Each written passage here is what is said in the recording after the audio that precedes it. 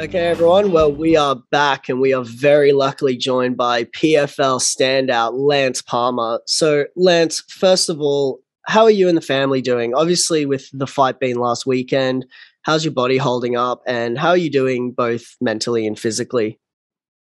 Everything's good physically. I didn't really take any damage in that fight that was lingering. Um, family's doing well. We're going to be able to hang out for Mother's Day and, uh, this will be the second Mother's Day with our baby, so that'll be cool. And we have another one on the way. So I think it's uh, it's good to be home, but it goes by really fast. And I spend a lot of time away because we don't live in Las Vegas where I train. Uh, we live in Ohio, so the only time I really get to see them during fight camp is either on FaceTime or if I fly home for the weekend. So these, uh, I'm only going to be here until probably for another week or week and a half, and then I'll be back out for the next fight. So we're just trying to make the most of our time here. But uh, on top of that, I'm working throughout the week, and my wife works full time also. So it's it's a busy schedule. We just try to make time together when we can.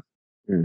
Lance, I um I saw on your Instagram post the other night about resilience and that quote you posted where when your guts are being torn apart from chaos and crisis, when you want to quit, everyone wants you to quit. Resilience is the dark drug that whispers to you, keep going that mindset is that is that mindset is obviously what led you to becoming a two-time PFL featherweight champion. Was that mindset something that you developed in your college wrestling days, or was it something that's always sort of come naturally to you?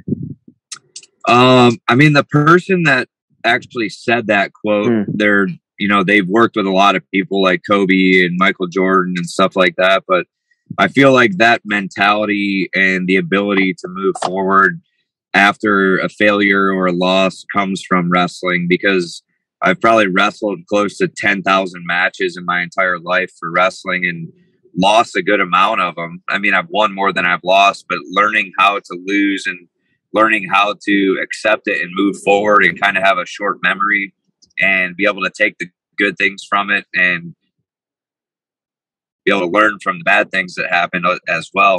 Um, I think that's the main thing that I have taken from wrestling in college and high school and just being able to overcome failure and, and, move forward and be able to succeed after failure. That's the most important. A lot of people get discouraged and they quit right away or they just they can't overcome it or they get so fixated on the losses that they just kind of hang around in that area and you have to give yourself a little bit of time to to reflect on that stuff, but then you have to move forward. It's not the longer you re- you reflect on that stuff, it starts to linger in your mind, and then you start second guessing your capabilities. Yeah, for sure. So, Lance, uh, obviously, we know that you're a big family man. You've just kind of touched on it yourself, and believe got another one on the uh, another child on the way, uh, due for September. So, a huge congrats to you for that. That's obviously massive. Um, have you found that having a family has changed the way that you will deal with a loss in terms of uh, maybe your perspective on life and that there is more to life than fighting? And that whilst losses certainly they suck no one wants to lose but it's not maybe the uh, the end of the world. There are things outside of fighting that can be more important. Well since i've had a child and like since we've had a, our little family that's the first time i've lost I mean, I've lost three fights in a row, and it's only been since having a family. So that's all I've really known, unfortunately. And it's kind of shown me that there is more to life than just fighting. But I don't feel like my my desire to fight and desire to be a champion is gone.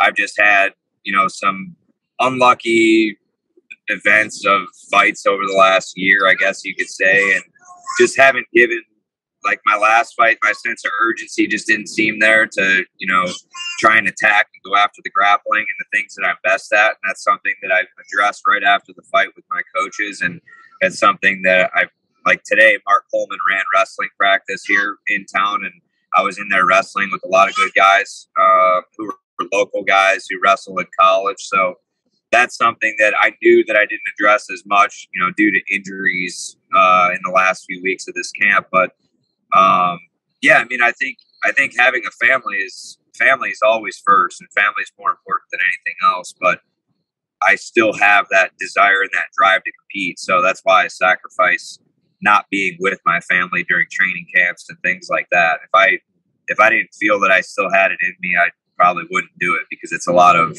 there's a lot of ups and downs outside of fighting that go with the sacrifice of being away from family. Hmm. Lance, you truly have one of the most decorated um, NCAA records in history, in our opinion. You I mean, completely dominated en route to becoming a four-time um, NCAA Division One All-American with, you know, like you know, wins over over Burroughs and Bubba Jenkins and Molinaro and guys like that. What led you ultimately to transition from wrestling to mixed martial arts and not continuing that route of going straight through wrestling? Well, it's funny that you say that because I was just telling Mark Coleman today, he hmm. was the reason that I got into fighting. I was still wrestling in college, and he came in the room because he wrestled at Ohio State as well. And he was just in there. He was actually giving us a speech after practice, and I talked to him after the speech, and he was like, Palmer, your wrestling style is perfect for MMA. You need to get in the cage once you're done. And I was like, I was a sophomore in college. I was still focused on trying to win two more All Americans, mm. try and be a national champion. And I was like, yeah, whatever. Like, I was like, Coleman's crazy, but like, he's that's how he is. He's just straightforward. But. I was like, this guy's nuts, but I love his style. And I just kind of, after I got through my senior year, uh, Mike DiSabato, who's really close with uh, Coleman and all those guys, he was a sponsor for like it was called Cage Fighter at the time and Core Synergy back in the day. He sponsored like DC and a bunch of those guys, and he was like, "Man, you need to really get out there and uh, start training to fight." And he linked me up with uh, Urijah Faber, who had called me right after NCAA's that year, and it was just like, "All right, I'll come out and train." And the, actually, the very first live fight I saw was Urijah versus Aldo when he got his leg tore up, and I was mm. like even though that fight didn't come out like you wanted to against uh, Aldo, Mendes was on that card, Benavidez was on that card. It was in Sacramento. I was like, man, mm-hmm. this would be a great team to train with. And uh, everything from there was history. That was kind of how I got involved with Team Alpha Male and that connection with Coleman and uh, Mike DiSabato and Urijah. I think they were sponsoring Urijah at the time, and that was the connection. But that was kind of what sparked it all was the first conversation with Mark Coleman when I was in the wrestling room. Yeah. For sure. So, Lance, as you have such an accredited wrestling background, other than the most obvious being chain wrestling, what is the most underutilized wrestling technique or approach in MMA today? I would say the most underutilized is Greco Roman style wrestling, mm. like upper body, body lock type stuff. It's not, I mean, some guys use it and some people do really well with it, but it's a very tricky thing because if you don't know how to use upper body wrestling, you can get thrown on your head just as easily. So it's something people are kind of uncomfortable with too. And a lot of people don't utilize it, but it's definitely something that's I don't utilize enough either. But I feel like even in my last fight, I got pushed to the cage a little bit. We were in over under, and then I squared him off and circled off. And even though it's something simple, a lot of people are just content with sitting against the fence and that's how you lose the round.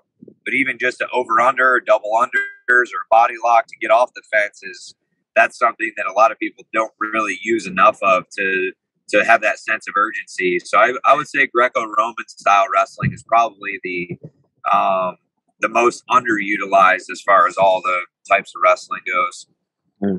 Lance, you were as we touched on before, you know, in, regarded as one of the toughest brackets ever for you know NCAA in 2008 at 149 with, like we said, with matches with Metcalf and Burroughs and, and Jenkins and guys like that. Would you say that still ranks as one of the toughest forms of athletic competition that you've experienced in your in your athletic um, career? hundred percent. I think the just that season alone, I think that season is probably still regarded among a lot of, I mean, not just us who were in there, but a lot of people as the toughest weight class in the history of the NCAA. And it's just because everybody that placed top eight in that bracket, and then people who didn't place, were either national runner ups or national champions at some point in their college career. And that was, I mean, it had to be one of the most stacked weight classes ever, if not the. So I think that that's, I mean, that, that was that whole season was one of my toughest seasons ever for anything I've ever done in my life. Mm-hmm. And it was uh, when we go back to resilience, that was one of those things where I had actually like I had a, a streak of losses throughout that season, and and then we went to Minnesota and I wrestled uh, Dustin Schlatter, who was a national champion a couple the year before that.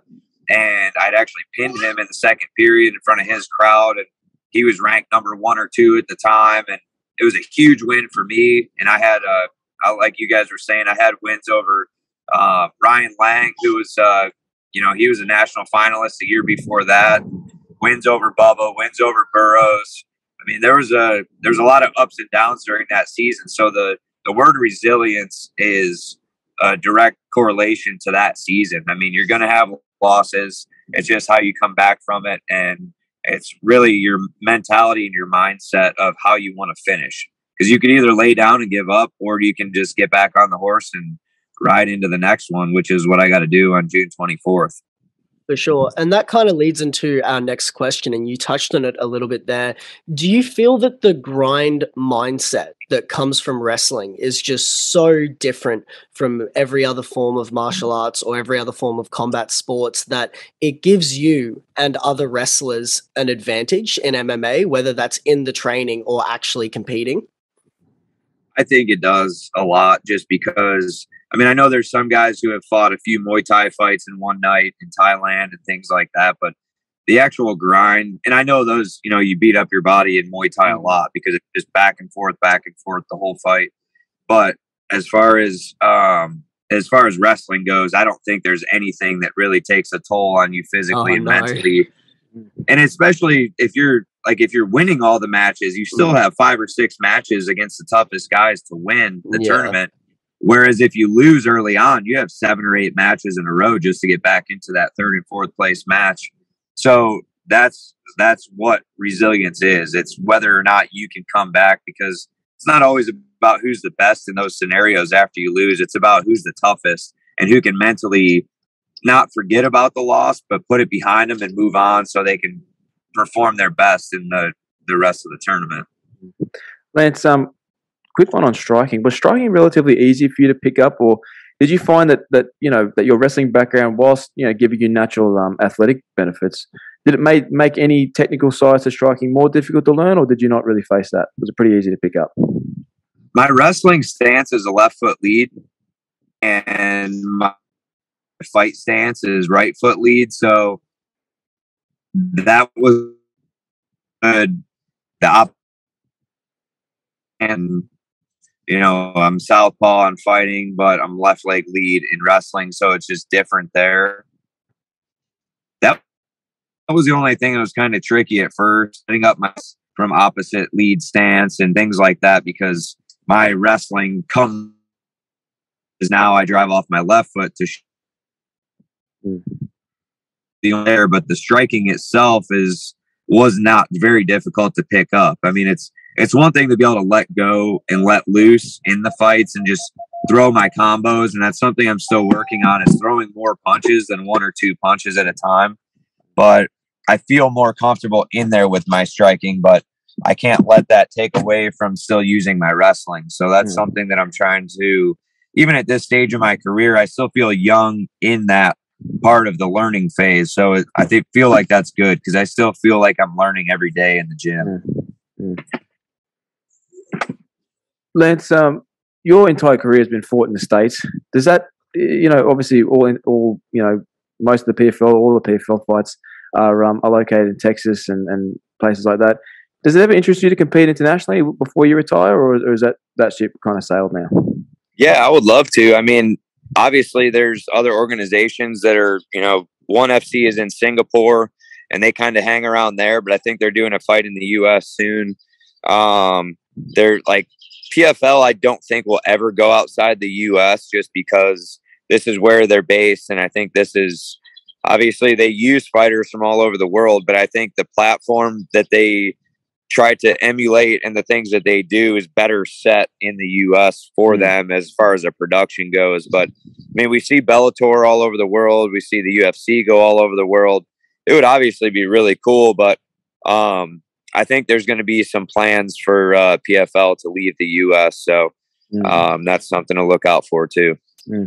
Lance, look, man, last one from us. I know you've given, you, you've given us heaps of time, so I really appreciate it. Look, no problem. We've, we've always asked fighters in the past, um, and we'd love to know your answer as well. I've seen you love your cars, man, and and that seems like a real passion and hobby that you've got also with your patios and you know landscaping business as well which i think is really important to have outside of fighting you know have have a have a, um, a release something that you enjoy outside of fighting sure. um, are there any other passions or hobbies you're really into while you're away from fighting um honestly like i love playing golf i love hanging out with friends I love drinking beer, hanging out with the boys. Like I'm just just like I like to do regular guy things. I feel like it's important to do that just for your mental health.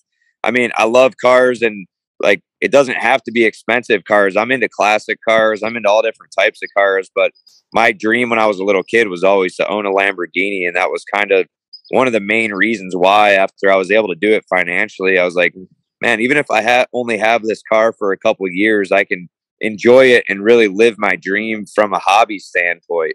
Yep. And that was kind of the reason behind that. And have I've had a Dodge Hellcat Red Eye before that, and I had a lot of fun in that car, going to the drag strip, and it just like things like that that still give you adrenaline rush, but outside of fighting, it's like my life has always been adrenaline, even with mm. wrestling. So I would say, you know, golf, movies. Like I'd my wife and I going out to mm. nice dinners or going to a movie together, or just going walking around the mall shopping. Like spending time with the people I love is probably the best thing. But like my brother and I love to golf together when we have time, whenever yeah. I'm in town. So I think it's just like you don't get that time with people. Like once your time is done here on this earth, it's done for good. So. You have to enjoy it with the people you love or the people you care about, whether it's friends, family, whatever it is. You have to you have to embrace that and enjoy it. I think I'm very serious about what I do with fighting and with work, but if you don't enjoy the things outside of it, time passes you up real quick. So yep. I think that's why it's like buy the car and go out with your friends, do this, do that, go on that trip, do you know the things that are going to bring you joy because if you're if you're just too busy trying to save up all your money your whole life, you can't take it with you when you die. So yep. that's that's the main thing for me is obviously not being dumb with your money, but you got to enjoy yourself. You only live once. And uh, my main hobby is just enjoying life. I like to laugh. I like to joke with people. I like to have a good time. I mean, that's my main thing because life is too serious. You just got to have fun. And, you know, obviously stuff like this is what is fun wow. to me. So that's awesome. I mean, it's, it's one of my, I mean, one of my favorite things I've ever done outside of winning, whether it's winning wrestling or winning fights is like being able to go to this dealership and purchase the car that I've wanted since I was a little kid. I mean, mm. that's like little, maybe a little goal for somebody who doesn't like cars or this or that. Like my wife isn't into cars at all. Mm. So she doesn't understand it except that it's super expensive. And she's like, you don't really need that. I'm like, yeah, but I don't need a lot of things. like, you don't really need a lot of things in life, but yeah, yeah. you can yeah, always sell it. So I just like enjoying it, man. But that's about it. I just love, I love uh, spending time with people I care about. I think at the end of the day, those are the only people that are going to be there for you, win or lose. So that's how you got to look at things. Hundred percent, man. Well, look, Lance, we really appreciate your time today, brother. We'd we'd love to chat to you again after you um after you get the win on, on June twenty fourth, man. And um, we really Heck appreciate yeah. your time, man.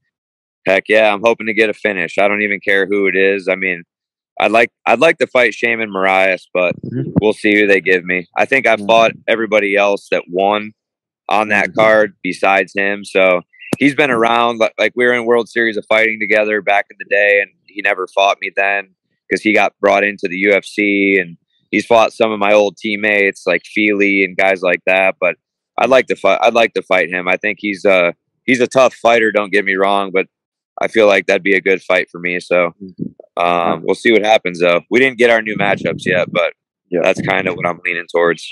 We'd love to see it. We'd love to see it, man. Appreciate your time today, brother. Thank you. Thanks very much. Heck yeah thank you guys. I appreciate you guys. Thanks for uh, switching out the days and times for me. No problem. Man. Stuff got all, crazy. All, all good, man.